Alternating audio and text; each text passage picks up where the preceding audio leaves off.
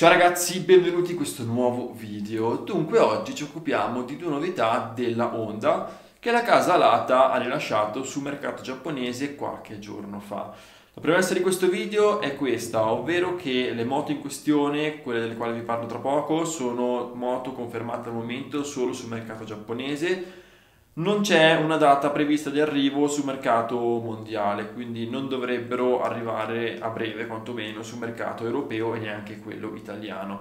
Però comunque sia ve ne parlo perché capite magari Honda potrebbe rivedere i suoi piani, potrebbe diciamo fare una sorpresa e le moto potrebbero effettivamente arrivare magari nel giro di qualche mese e comunque sia secondo me sono moto interessanti che vale la pena comunque eh, dedicarci un video. Allora ragazzi parliamo della nuova CB1003 Super 4 e CB1003 Super Bowl Door, due moto con uno stile classico. Qui di fianco vi lascio qualche foto di questa moto, purtroppo ce ne sono poche, la Honda rilascia sempre foto, poche foto quando diciamo, annuncia modelli nuovi, quindi io vi metto le foto che sono arrivate. Dicevo, due moto con uno stile classico. La versione CB1003 Super 4 è una naked classica, muscolosa, mentre la variante Super Boldor è la stessa moto però con la semicarena e con un faro anche un faro diverso. Questione design, questione estetica, a me la moto, le due moto non dispiacciono cioè fanno parte di quelle moto con quegli stili classici che richiamano un po' gli anni 90, gli anni 2000. Secondo me sono delle moto comunque affascinanti, no? Cioè sono delle naked, muscolose, cattive. Onestamente non lo stile non mi dispiace, come non mi dispiace neanche lo stile per esempio della Z900 RS o anche della vecchia Honda Hornet, insomma quelle moto lì con quello, con quella, con quello stile classico e con quel faro tondo. Discorsi invece le moto come sono fatte sono interessanti se vogliamo, hanno un motore bello grosso perché il motore come dice il nome è un 1013 cilindrata, esattamente è un 1284 di cilindrata, la potenza non è molto alta ma al contrario invece la coppia è molto elevata mentre hanno il difetto di pesare effettivamente un po' troppo. Allora, vediamo un attimo le moto come sono fatte. Dunque, per entrambi i modelli, quindi per la versione Super 4 e per la versione Super Boldor, ci sono due versioni SP. Quindi c'è la versione SP per la, per la Naked e la, la SP anche per la versione con le semicarene. Per il resto, diciamo che ecco, le moto comunque, la versione Super 4 e Super Boldor, come tecnica, come ciclistica, sono praticamente le stesse. Motore di queste moto, allora il motore dicevo prima è un 4 cilindri 1284 di cilindrata con una potenza di 111 cavalli a 7750 giri e una coppia molto elevata di 112 Nm a 6250 giri. Peso della moto per la versione Super 4 la moto pesa 266 kg in ordine di marcia mentre la variante Super Bowl Door pesa di più ovvero 272 kg in ordine di marcia. Allora, vediamo un attimo questi dati. Discorso potenza non è molto alta, cioè nel senso qualcuno potrebbe dire il motore è a 4 cilindri 1300, 111 cavalli, sono effettivamente abbastanza pochi. Uh, in effetti è così, onestamente non so perché la potenza sia così contenuta, uh, però potrebbe essere, potrebbe essere che insomma per queste moto qua non serve avere 200 cavalli, quindi Honda abbia deciso comunque di castrare se vogliamo la potenza, no? Cioè alla fine 111 cavalli non sono pochi, però ecco, su un motore 1300 è meno potenza rispetto per esempio a un GS XS 750 della Suzuki, giusto per lanciarne di una, no?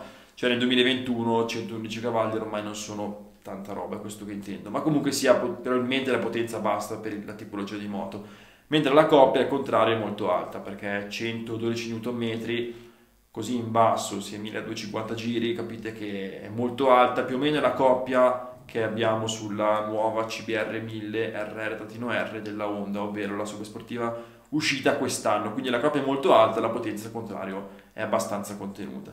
Invece il peso, il peso ragazzi, il peso è alto e c'è poco da dire, eh, parliamo di circa 270 kg in marcia facendo una media tra le due ed effettivamente facendo un paragone per esempio con la Honda CB1000R ovvero la Maxi Naked che noi abbiamo in Italia la nostra CB pesa tipo 212 kg in marcia che è il peso anche per esempio della Kawasaki Z900 quindi capite che 2,70 circa di peso per le due moto, per le due CB 1003 effettivamente è molto molto alto, cioè le moto pesano tanto, c'è poco da dire.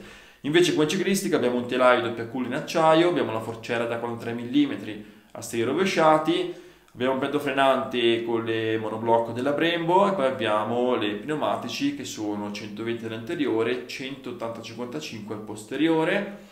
Come diciamo elettronica abbiamo un nuovo comando elettronico, l'acceleratore elettronico nuovo con la throttle by wire, abbiamo tre mappe motore più l'aggiunta anche del cruise control e abbiamo anche, mi dimenticavo, lo scarico nuovo 4 in 1.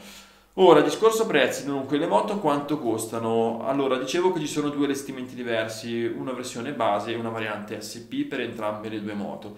Per quanto riguarda la Super 4, la base costa circa, convertito in euro, 12.000 euro, mentre la variante SP va a costare 15.000 euro circa, un 15.300 euro circa, mentre per la versione Super Bowl d'Or la versione base costa 13.000 euro e la versione invece SP costa circa un 16.300 euro.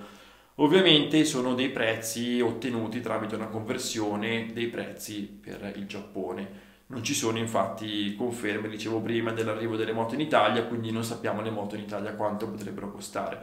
Diciamo che se i prezzi fossero gli stessi in Italia, secondo me non sarebbero delle moto, insomma, delle moto da evitare, ma sarebbero delle moto interessanti. Alla fine 12.000 euro ti prendi una moto con uno stile classico, per quanto riguarda la Super 4, 12.000 ci può stare, considerando le altre moto, per esempio le Naked Medie, quanto costano adesso, per esempio con la Z900 che va a costare circa 10.000 euro, secondo me 12.000 per questa moto qua muscolosa, la CB1003 Super 4 ci potrebbe stare.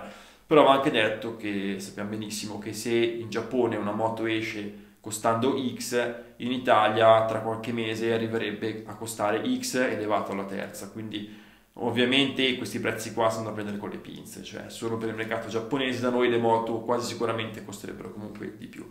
E da questo video mi sembra di avervi detto veramente tutto. Diciamo che ecco, non sono esattamente il mio stile di moto, lo sapete, però comunque sia sono delle moto interessanti. Diciamo che nel 2021 c'è una fetta comunque di appassionati che ancora amano le moto con questo stile, per esempio lo stile, dicevo, della Z900 RS, che è una moto che in Italia non vende niente male. Comunque vi ricordo sempre che la CB1003 è una moto che era disponibile anche in Italia fino, mi sembra, al 2012 se non sbaglio, però è una moto che adesso non è più a listino comunque della Honda. Da questo video è tutto, se se è piaciuto, iscrivetevi al nostro YouTube con lo Instagram e Linea Ufficiale, noi ci vediamo nel prossimo video. Ciao!